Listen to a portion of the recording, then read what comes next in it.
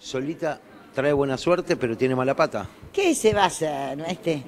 Son esas cosas. Nada, estaba el día de la bandera en Tandil y con unas amigas y, y la amiga que manejaba pensó que yo ya había subido al auto y no, yo estaba todavía con mi patita abajo y quedó mi pie atrancado en una piedra tandilense que Tandil tiene tantas como amores tengo allá.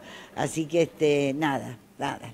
Eh, fue grabado porque bueno, tuve que levantar tres días el teatro, el domingo ya hice función y ahora estoy en silla de ruedas haciendo la función. Te quería pedir una reflexión acerca de lo que está pasando con Silvina, con Silvina Luna, y quería saber si te habías sumado a la cadena de oración.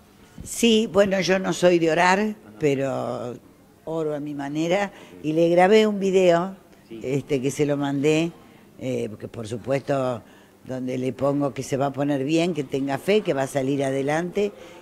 Me gustó muchísimo que Gustavo Conti eh, convocara la oración, porque hace 26 años que hicimos ese gran hermano, 26, 25. Entonces, que sigan juntos los chicos, me, me pareció muy hermoso. Así Te que emociona cuando estás hablando No, ahora, sí, se me te quiebra un poco la, la me voz. emociona porque yo los quise mucho, fue creo que el primer gran hermano. ¿Qué opinas de lo que está aconteciendo a nivel judicial con Marcelo Coraza? Me parece el horror, la verdad. Vamos a ver cómo termina todo esto, pero Te resulta increíble, ¿no? me resulta, recién se lo decía Fer Dente, no, no, no, es como que no, no, me cuesta mucho, mucho, mucho.